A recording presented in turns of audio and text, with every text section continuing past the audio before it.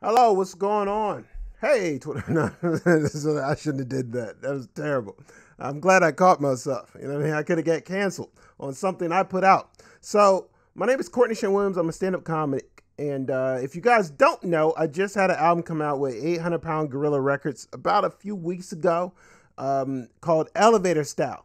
Please check out the album. It's everywhere. Spotify, Pandora, it's it's XM Radio, it's everywhere. So check out the album. If you don't know, go to my Instagram, Twitter, at Kortney Shane. That's at K R R T N E Y. Shane, almost misspelled my name. And uh, you can check it out there. Go to my website, whatever. So I had this idea, like, what can I do to like promote the album? And uh, I was on an airplane. I'm doing a gig, and um, I'm sitting there and I'm thinking, what can I do? And I was like, well, what if I did like a director's cut? Like a behind the scenes. You know what I mean? Like like what's that called when when people not driven? What's the other one called? When when the artist goes off the rails? You know, you figure the untold stories. You know what I mean? When you figure out TLC sounded terrible terrible contract. So I was like, what if I could do something like that, or, or like a director's cut? You know what I mean? For an album. It's like no one's thought of this, so it's like great. So uh, I sat down, I jotted out some notes about the album, and so here's my attempt at a director's cut. This is for Elevator Style, my latest album. If you haven't already, go check it out. I think some of the stuff is pretty interesting. You know, behind the scenes stuff, some of the things that I was thinking when I put it together, and uh, things of that nature. So I hope you enjoy. All right, let's get right up into the album. So I'm gonna play the album, and while I play the album, I'll talk over the album at the same time. So hopefully that's not uh, as annoying. Hope I can stay on top. So this right here is uh, intro. Back it down a little bit. Relax, relax. Intro of the album 2020 Roller Coaster. So the funny thing about this is that I actually started writing this album in uh, in 2017. Oddly enough, so when I first started working on this album, oddly enough, back that down a little bit more. That's that is distracting. I first started working on this album um, like 2016 uh, or no, 2017. So I recorded my last album, To Whom It Doesn't Concern, also streaming everywhere, in 2017. However, originally I was going to record it in 2016, and something happened. So for the next year, I was coming up with more material, so it ended up being some of the stuff on this album. The funny part about it is I learned some things. Number one, never work for a year on an album. Terrible idea. Terrible idea. Um, and number two, uh, when you have like the material that you want, just kind of stick with it and don't beat it into the ground. Okay, so it's like that's the problem with like a year. So like, I still had it and it was like great. So you go out and you perform it, and next thing you know, I'm performing something for a year. So by the time I get to the show, it's basically me going through the. It's a it's a recital. It's no longer a show.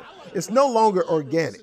It's a recital. I know when the audience was gonna laugh. I knew that when they were gonna clap. I, I knew when they were gonna smile. I knew when they were gonna grow. I knew everything the audience was gonna do in, on my album in 2017 because I had done it so many times in so many different venues. So on this album, I took like the complete opposite approach. Intro to 2020. This track right here.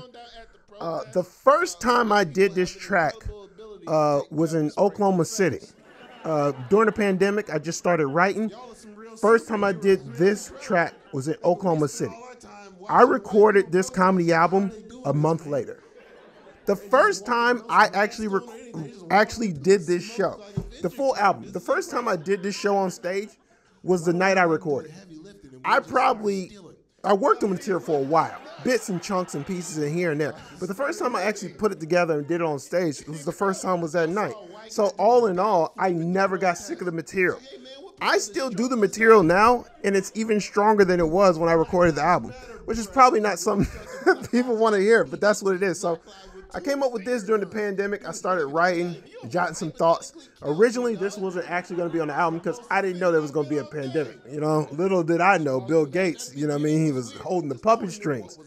So you'll come up later in the album. What I was gonna intro the album with ended up becoming at the back of the album. It, it just weird flipped the order. But because I had this, the only way to get this on the album was to intro with this album. So that's how uh, intro to 2020 became the intro. Let me go to I'm gonna this bit right here. That's what I'm gonna do. CrossFit gluten, all these joints. Uh, this is one of those that like almost didn't make it. This was one of the tracks that I actually wrote in 2017.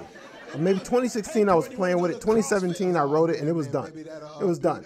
Um, but I knew if I didn't record it and get it on the album, it was never going to get on the album.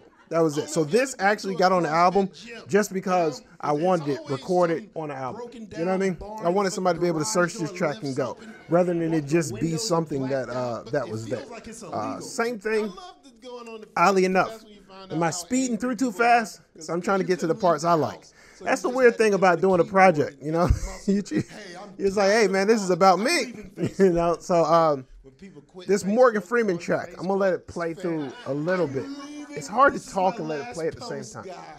So um, this track uh, about Morgan Freeman, me being a conspiracy theorist, and Morgan Freeman being an old man in his entire life. Uh, I wrote this in about mm, 2015 ish, and it had like one line. I had the Morgan Freeman line, and I had um, I had the Morgan Freeman line uh, being an old man in his entire life, and uh, that was basically it. That's all I had. Had nothing else. And then as I started doing more shows, I just started putting other stuff into this track that actually had nothing to do with this track. I just needed more heft.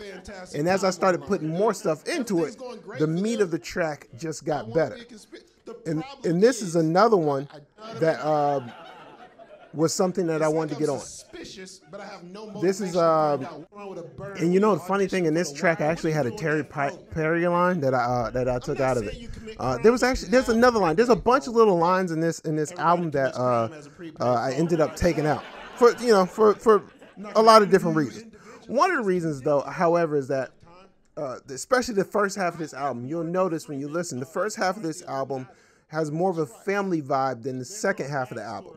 Because I wanted the album, especially the first half, to be able to be played on, you know, uh, all ages radio stations on XM. I wanted it to be played, you know, whatever YouTube, whatever, whatever. There's no cursing on the album, but there's definitely more adult material in the second half. So this is one of those things that I'm like, if I take out a couple of these lines, I can put it in the first half of the album, and it's somewhere in the album where it'll get to more venues, rather than having it in the second half because you know, I mean, I want to take a jab at Tyler Perry, not because I know Tyler Perry, because it's funny. So I took out one of those lines, and then there's a uh, oh, there's another line in this track. I think I say um, uh, some about old people.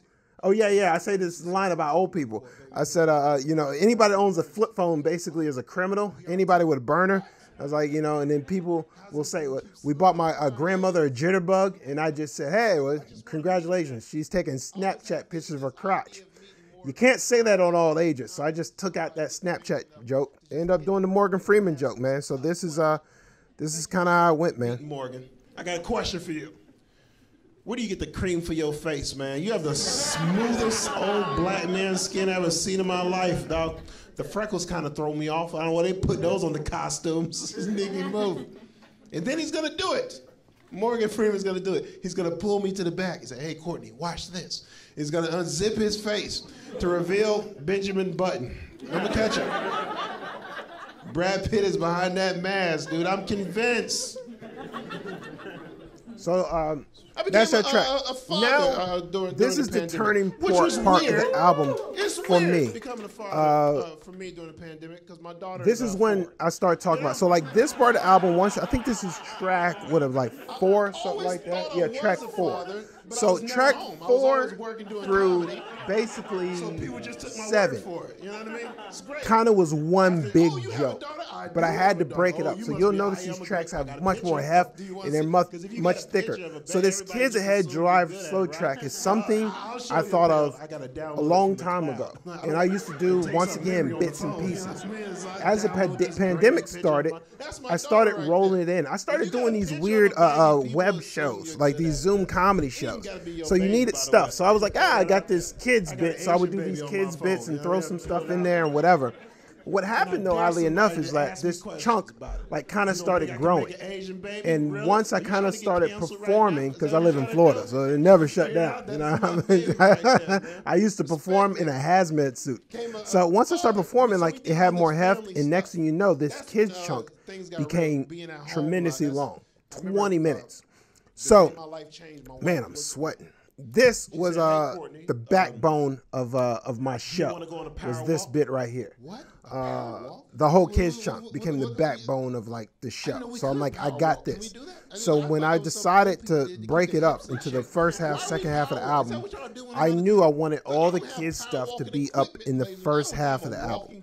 So this was probably the edgiest track I had so I actually took stuff out of this track and uh, made it to where it could be played on all stations, man. But this is still like one of my favorite bits on the album. This bit. Probably gets one of the biggest pop. Only black dude wearing Skechers is Danny Glover. I'm convinced. It's the only one. Uh, but this is a weird so night. I'm power walking with my family. We're bonding, social distancing on our power walk. Now, I, uh, I live in a mixed income neighborhood in, in, Florida. So, you know, the one reason I like living in a mixed income neighborhood, a couple reasons. Number one, I like living around an element of danger. You know what I mean? Something that makes your hair stand up and lets you know you're alive. You know, you hear a sound. Oh, was that fireworks or gunshots? Ah, you know, let's check the mail. You know what I mean? It's the space I live in.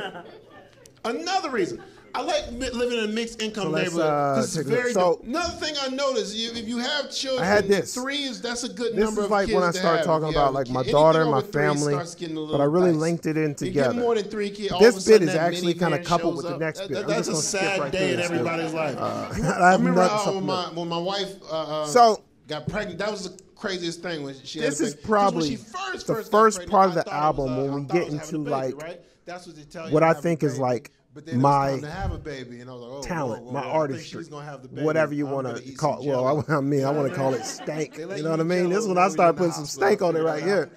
Back up, here comes the ego.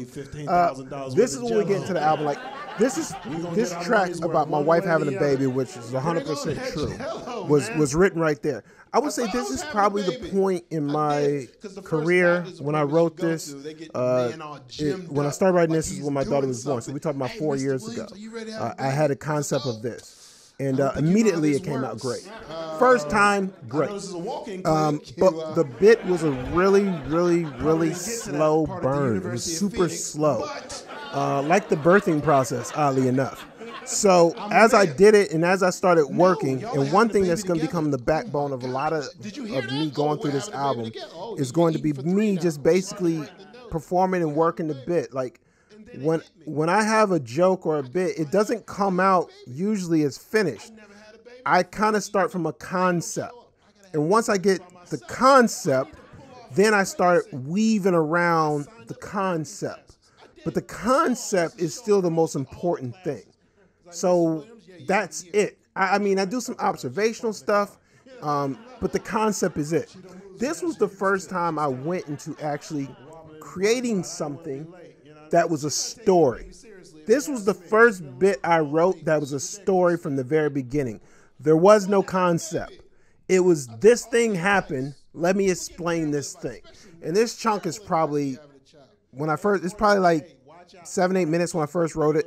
It ended up being 20 minutes. I cut it down for this album because as you do it, it gets longer, drawn out, whatnot. So I cut it down. Plus, once again, I wanted it to be heard on all these stations.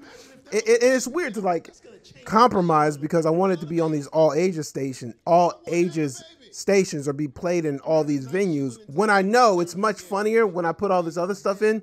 So there is a compromise there. But guess what? It doesn't bother me. It is what it is. I got no problem with you know business. Plus, I also think it's cool. Like I would have comedians, artists, uh, musicians, whoever you would go to the show, and it would sound different from the album.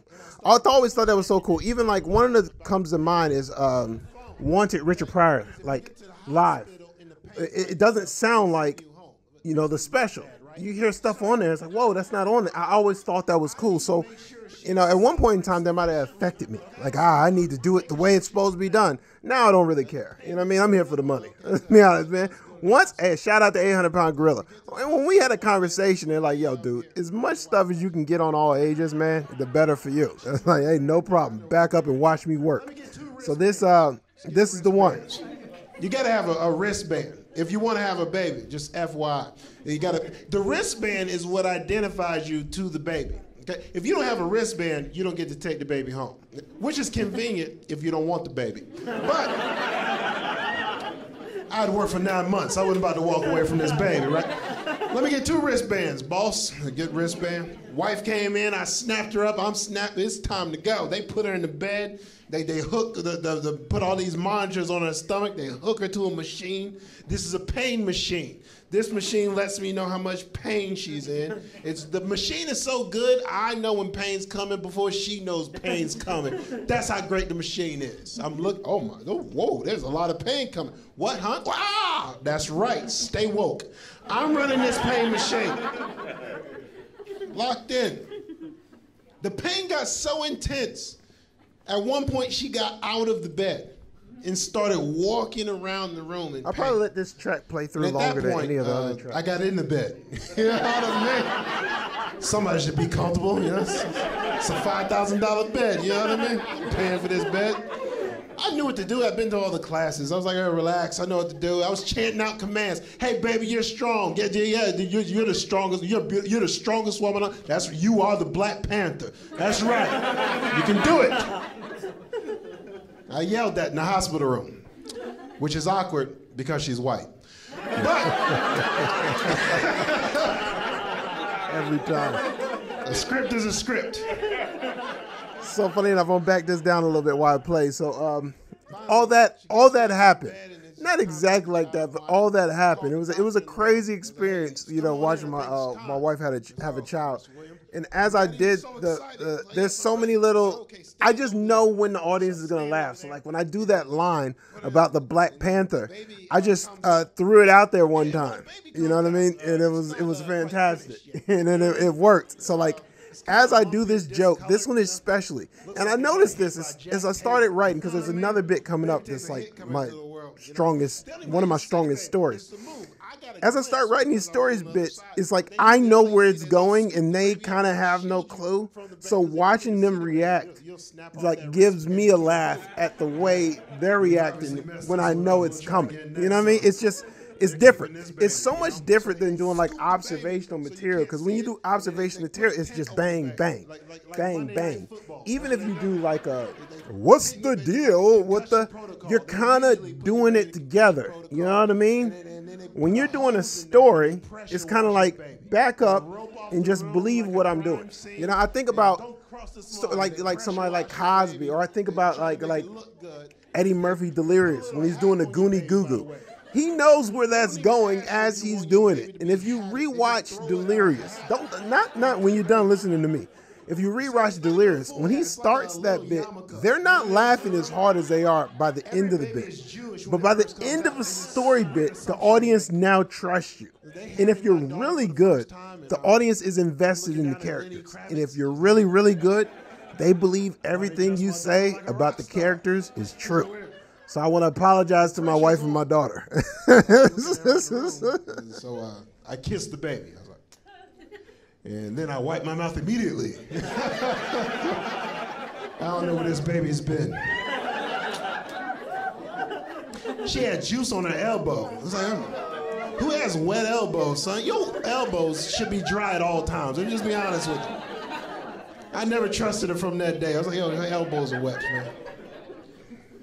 So we're sitting there, been with my wife for a long right. time. Skip been through married, that, man. Going, full bit on uh, close to ten years. Yeah, full thing. You check out. So it's getting close. Uh, just relax. This this starts the second half relax, of the album. everyone. This is the line of demarcation. It's a weird all thing you now because people will call okay? me and they'll be like, "Hey, so, Kortney, you're married. This wow. dating, you've been married a long time. Yeah, man, it's. It's great. About seventy percent of it is true. Yeah, you know how to do Thirty percent is Divorce not is true. It's a huge exaggeration. and a lot of the things I saw in this bit, you know, you and the reason I'm giving like such a disclaimer is because oh, man, the, the amount of people that apparently think oh, what you see on stage is true is is is is uh, is mind blowing. I mean, come on. You think I would talk about you know, my personal life with you? I just met you. You're a stranger with a mask on. I'm creeped out. That's what the whole thing is about. so, um, originally I had this idea of like, uh, you know, this dating idea, and originally the dating chunk was, oh, what if my wife asked me to go out on a date? That was the first thing because some people like, oh, you got to keep dating when you're married. So I had this idea like going out on a date. That's how do you date somebody you live with? So it started there. Then uh, I had this idea of like love not being that big of a deal. This is just an evolution of like what I thought about relationship because you know you read books or you, you hear something and you realize like if you're married like if, if love is all that mattered, then a lot of people wouldn't be divorced, right? So I'm like, it can't be love. It got to be something else. So I had this idea of like, you know, coexisting. So then dating, coexisting, and then my wife is a snitch. That part is true. that is the seventy percent. Okay. So then I had this dating, coexisting, and, and, and snitching. So love is just a thing that helps you not kill them in their sleep. That's what love is. This uh, I'm gonna let it you gotta coexist. It's it's about building up enough assets with another person to the point that you can't leave. That's the secret of the game. That's the secret. Everybody in here has thought about killing their spouse. That's how you know the relationship is working. All right? You see him sleeping at night. Oh, I would choke him with that pillowcase if I could. I need somebody to pay half this rent, though. Uh, you live to see another day. Well, it works. So it's funny, like when you do these things and you say choking somebody with a pillowcase, like this is not something that's ever gone through my mind. You start with something small and it expands to something else. So I've never thought about killing my spouse. That's what I'm saying. All you people that are concerned about my personal life, like I'm good, I'm good. It's a joke, okay? Um, so as we get towards the end of this bit, uh, you'll see the next, uh, the next it leads into the next chunk. Actually, let's just skip through, skip through the next chunk. This is probably,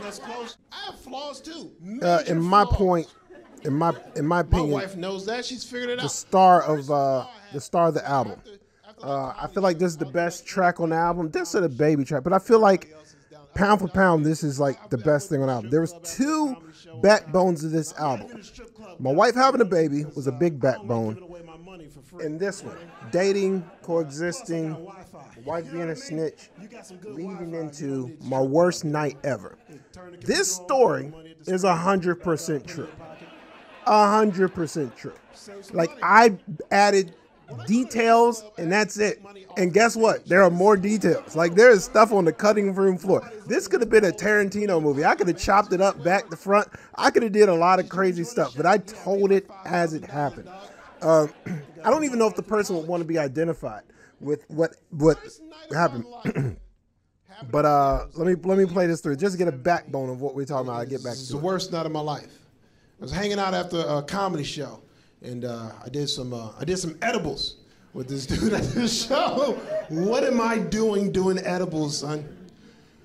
The dude's like, hey man, you know, the way he introduced it is what got me because he was like, "Hey man, you want to have some butter?" It's weird. I had never had somebody offer me butter randomly out of a dish they pulled out of their back pocket. This is a weird thing. Hey, you want some butter? I was like, "Really? Why is it black? What the hell did you make the butter with?" Relax, Kortney. Let's have a little butter. And then he pulled out some King's Hawaiian rolls. You know what I mean? And I just wanted the bread, honestly. Let me be real. I can eat King's Hawaiian roll with no butter. You know what I mean? I can dry like a duck. You know what I mean? I can just throw it back with no butter. This happened. I don't want to offend him. Say, hey, sure, I'll have some of that butter. So I pulled out the King's Hawaiian and I, I, I dapped up the butter. You know what I mean? He's eating weed. You know what I mean? Like, like, I'm, like I'm a drug mule. I just fucking dap it up. I throw the butter back. It's great. Then he came back and said, Hey, Kortney, we got a little more butter if you want some more butter. I was like, Man, it's been like two hours? That butter ain't nothing, man. Bring on more of that butter. that's when things went wrong. I didn't I had never done edibles before. I didn't know that's, you know, when you do edibles, I didn't know you do one edible and you gotta wait for that to kick in for the rest of your life. You know what I mean? You don't double dip until the first one gets a chance to do what it wants to do. If it get the second one, it finds out you're cheating on the first one. Oh, really? Oh, watch what the hell I do to you. The room is shaking. Terrible. Five minutes later, the room started shaking back to front. I'd never shaken back to front. So, man. I'm uh, shaking in the room. so like all this happens, right? Hey, so man, this night, keep the room still right doing now. edibles, Something's guy pulls What's out going on, man? bread, Oh, man. and uh. This man, probably happened man, for we, like we, we got to do something right now. an hour and a half later, I didn't feel anything. Then I went like back for a second one, and then, because it, it like, makes me paranoid. 30 minutes later, paranoid, you know, I knew something was happening. right? like, like, 30, the spirits had got me. The they- spirits had got you me. know, and I act like Shout out to don't know how they got Chappelle. Uh, and I was like, yo, I got to get out of here. So did. It's good to as we go through this bit, So I'm like, trying to make the. I'm trying to like get home, basically. was like, relax. I was like, hey, Corey, I, I, I need to get home. We got to get home now. It's like, oh, what? Look, no, call me an Uber. I, I need to leave. I, I got to call the police, man. I, I need to get home immediately. I took a 45 minute Uber ride True story. three blocks from my house. That's how high I was. I was so high, I thought the driver was following me home. This is how I was. So I remember, uh, So I so I ended up leaving this comedy I was trying club. to get the driver You know what I mean? And was like, uh, hey, man, I'm. I'm I'm blitzed? Hey, but I'm so way. High and I'm so out of my This dude's trying mind, to kidnap me right and now, I'm so man. Really paranoid that I should've that had a I lunch. If think the a lunch, I driver is ate so much of that kidnapping me. bread, right? Hey, And I don't know if he had a worst night of my clue. I'm sure he had a clue. He had to know. But I was so paranoid that I started You ever been calling my wife high, I just nonstop somebody. Because I I felt don't like, it- you know what I mean? Like you, you ever see like those Lifetime movies, and he went missing and they never heard again. I didn't want that to be me. So I was like, you know what? I'll do?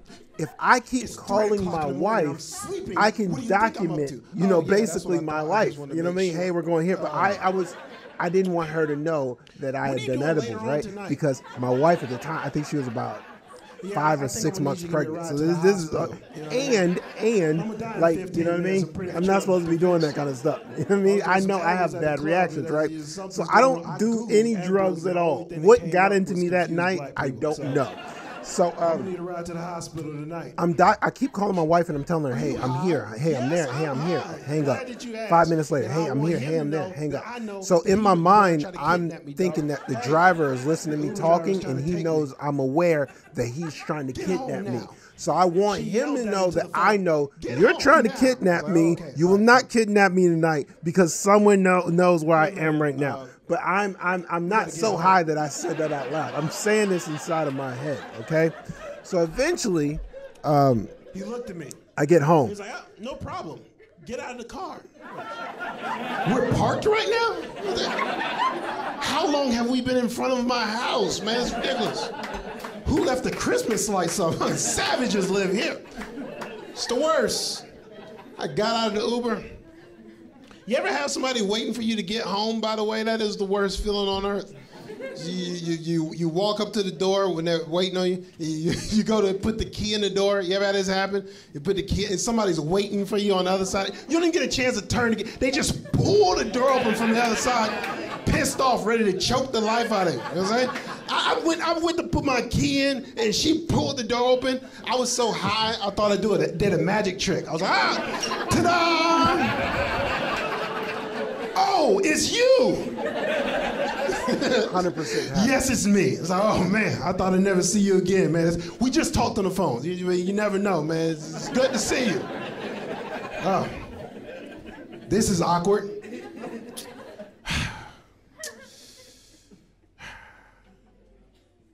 Can't believe you. I can't believe this either. You know what I mean? We got to figure this out, though. You know, something, something's happening right now. All right. Disgusting. One thing that's it through to the next track. I'm starting to visit So, places this that never had basically starts the conclusion of the album. Crazy. You know what I mean? This You know? this track get that cat. uh, was actually two Son, different tracks. I think uh, gotta go this is actually a story go. about the first time Tulsa, I went to Oklahoma. Little Rock, I Arkansas. that off the list. And then I had this story about the first time going to Tulsa. So originally, this was the intro of the album. boy. They don't even advertise Before the Tulsa. Pandemic, landed I was gonna start the album Oh, with man, this. it's the worst. It's like a hey, you know, I perform here, there, stayed wherever. That's Before there was a pandemic, I was gonna do that and then go into the rest of the take a shower show. with your socks on. Then I had the pandemic, day. Then I started thinking about structure, but I wanted to get this thing in too. So then it flipped. I was like, you know, if I close with it, I can do, hey, this is the story, and I've performed here, here, and here and then get to the, the outro, which you know, you'll see in a minute. So um, this is a story about Tulsa, things like that, going there. You know what I mean? It's nothing too detailed. It is what it is. Um, actually, funny enough, you'll find out. This is uh, going to Tulsa was wild. It's just some wild stuff that happened there. Not my stilo. You know what I mean? Love the people. Love to come back. I just can't stay. You know what I mean? I love you guys. I just I just can't stay. Okay, I'll be back. I'll perform, but it, will be a one nighter. I mean, we'll be a, it'll be a one nighter. You'll have to find me in Lincoln. You know what I mean? Next night, I hit all the hot spots. You know what I mean? Little Rock, Tulsa, Lincoln. Uh, coming out. This is the outro. This is the end. Uh, I recorded this album in Seattle, Washington. Better than the, first time I came. I started my comedy career in 2004. The first time I went to Seattle was probably 2006 or seven. I remember. And it was great from the first time. First thing that tipped me off I landed. was a different place, and the place that I wanted so, to uh, is, uh, I went to Seattle in 07. I ended up moving there. And, and How about like, 09? Hey, I think I'm lost. 08. The, the, lady just uh, came up. To, then I came she, back she I to Florida. like, hey, then I went back. Are you lost? And I ended like, up getting like a permanent resident. She's like, okay. And uh, back, I'll take you there. Late in 2009 and uh, so I, I, jumped on this old woman. It was great. Like, the performing was great. The comedy was fantastic. The life is rough. The lifestyle was rough, but everything else was great. It, it's one of those things. Like when I went to Seattle, it was the first like, like comedy city I'd ever lived in. I started in Florida. Florida's not a comedy city. It's not a comedy hub. So like I remember going to Seattle. That was the first time. Um, you want to go do the show? I'm not going to say his name. You know, but this oh, comedian I was working with, I was a oh, feature act, and uh, it was the headliner, and the show was in Bellingham. That's like five and uh, I'm like, sure, man, he was like, hey, you know, we got a show tomorrow. I'm like, yeah, man, I'm trying to figure out how I'm gonna get there. You know, I'm trying to. What's the bus? I'm not scared of catching a bus. I've taken a bus from DC to Chicago. You know, I'm not scared of a bus. Okay. And he goes, oh, I'll give you a ride. What? You'll give me a ride. With the Bremerton. That's what I figured out. Show, you know the big thing in Seattle is talent. If you have talent, people will work with you. People want to be around talented people. Like that is is is is not the commerce, but that's the exchange. Talent, you know what I mean, for gigs. Tampa's not really like that. Florida's not really like that, right? The talent has almost little nothing to do with it, right? You're just getting up, and once you get up, it's like, yo, I'm good. There's no comedy city, so Seattle was as a performer, Seattle was fantastic for me, man. I ended up living there for 10 years. Hey, thanks for doing the show. So I do this gig um, with the great Chris. Now, he would love that because this dude, he, he loves some promotion. You know what I mean? So I do this gig, and, and they have these gigs in uh, Bremerton, Washington. Get in trouble. On the other side. Of, of the bridge. I mean, it's like eight miles. This is on the other side. So yeah, in, in Kitsap County, they have these gigs. So, and so know, this night, they're all private shows. So I'm, I'm going to completely talk over this whole bit. So this night, uh, I do this private show, private gig. It's for, and it's always a fundraiser. Not only is it private, it's a fundraiser. So it's not like a, uh, it's like it's not like a business. No, no, no. This is just like families. Like, hey, how can we generate money for like the softball team? Or we'll have a, a, a banquet. I did something for like fallen police officers. You know what I mean? I did something for firefighters. I did something for uh, oh beauty pageants. There, was this girls like an um, like the horse riding pageants. I did some person who was on American Idol and they needed money to get to New York. You know what I mean? I mean that probably didn't succeed because I don't watch American Idol, but Kitsap County has never came across the bottom line. So I'm sorry about that. But we did all these gigs. So there's one night I go into it, and I've probably been doing them for about three, four months. I'm, I'm not that familiar with Seattle. So, but I had this bit about um, the 12th man. And uh, I didn't know who the 12th man was. I had no clue what 12th man is. I didn't know any of that, you know? So when I got, they were like, oh, the 12th man. And people would talk about it so much in Seattle, and it would annoy me because it was like, yo, you don't play for the team, okay? this is a weird in, indignance that I had. But then it just, you know, you just kind of accept it. It's like, all right, cool because Seattle was no good when I first went there. Then they got good. Then it became annoying because the only thing annoying is about fans is fans that have a good team. when your fans have a bad, unless you're like the Jets, you know, if you if you're in like New York, and you're just annoying all the time. But the annoying fan bases are fan bases that have good teams. So they got good, and I remember like walking around Seattle, and I would see jerseys with the number twelve on. And I was like, "Who is who is Who fan?" the hell is fan? Who is this dude? I looked in the ring of honor. There's no fan up there. So this this Asian dude is a baller. This guy right here is the key to the whole team. He's selling jerseys like who the hell is fan? So I was walking past a sporting goods store and it hit me. This happened. You people made a jersey for yourself. The hell?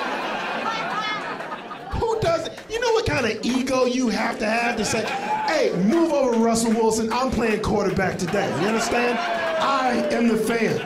You guys are great. Thank you guys for coming out. so that concludes the album. So that's exactly what happened, man. I was it was a Dick's Sporting Goods, and, and one day it just clicked. I'd probably been living in Seattle like over a year by that point, and it clicked. I'm like, oh, 12 is the 12th man. Oh, fan, you are a fan. Einhorn is Finkel. Finkel is Einhorn's a man. Like then it's just clicked. So I had this bit where I'm like, oh man, who's fan? And that's how I would like close these benefit shows. It's nice, these people, you know what I mean? They're not really interested in your art. They just want to do things. So I'm like, oh, Seattle, that connects. So I did this. So there's one night, you know, they serve drinks at these benefit shows. You know what I mean? You would think the T-ball team, they wouldn't be going to get drunk around their parents, but they don't care. These kids are drinking. So um, I do this show and I start this bit and I'm like, oh, you know, Seahawks, whatever. I'm just getting to what I want to get to. So at one point I said, uh, some, some, something, Russell Wilson. And this guy stands up in the audience and he starts walking. He said, it's something like, watch your mouth or something, something like, I'm like, oh man, whatever, dude. I'm like, this dude's like, and I just said something like, oh, this dude, you know, whatever. You know what I mean? But not like, it's a benefit show. Like all these people know each other. You know what I mean? This is a hundred on one. This is not going to end well. And then all of a sudden he starts like charging the stage. And I'm like, yo, my man. So he ends up getting drug out of this place. And uh, I had to keep doing material. It was really awkward, man, because at that venue, after the show, they would feed you. So I was like, hey, man, I'm, I'm going to get my food to go. you know what I mean? Bosworth is out in the alley waiting on me, right? So we do this whole show. This guy charges the stage. So it ended up becoming the conclusion of this bit. Uh, uh, and uh, it wasn't the first time in Seattle, but it was definitely within my first year. And I recorded this album in Seattle. So I thought it was appropriate to do a track that had Seattle in the track, especially because Seattle was such a fundamental part of my career as a comedian. It's uh dude, it's the backbone. Seattle's the greatest comedy city in America. I say it all the time. It truly is. It's the first place I was able to go and create. I mean, the first time, from the first time I was there, first time doing guest spots, I remember in Seattle. Um, I remember being like, "Whoa, I can be creative on stage. I can be creative in the moment. Like I can, I can not do great, and they'll stay with me, and I can explore, and they'll stay with me. You know, come in the background of Florida, like it got to be popping. Like they'll stay with you for about ten to fifteen seconds of it kind of not working, and then they're out. But in Seattle, they would stay with you and let you get to a point, and it was so much easier for my material to create and develop material. So it's a very instrumental time during my career. Ended up moving to Seattle, so this is about 09. It's five years into my career. And for the next 10 or so years, that's where I was. And that's where uh, this album was created. So I thought it was appropriate to end this track with Seattle, dude. So uh, that's the album. That is what it is. Elevator style. For you guys to stay for the whole sesh, as the kid would say, kids would say, uh, thank you. Uh, check out the album, please do. It's everywhere. It's on Spotify, Apple Music, you know, uh, wherever. I think iHeartRadio, Pandora. Check it out, share it, um, like it, Instagram, Twitter. I don't know when I'm gonna post this, but when I do post this, you know, please give it a thumbs up on YouTube or, or give it a like on YouTube. Share it out if you think it's interesting. You know, let me know. Leave a comment. I don't take it personal. You know, the funny thing is, I start liking comments when people talk negative about me. Remember, this, this is guy on Facebook. Some people on Facebook's like, oh, this guy's not funny. and I just comment, hey, thanks for listening. Appreciate it. and I only comment to people that leave terrible comments, man. It's one of those things, man. So uh, that's it. That's the conclusion of Elevator Style. That's the director's cut. Take it easy. Peace. It'd be so funny if I didn't record any of that.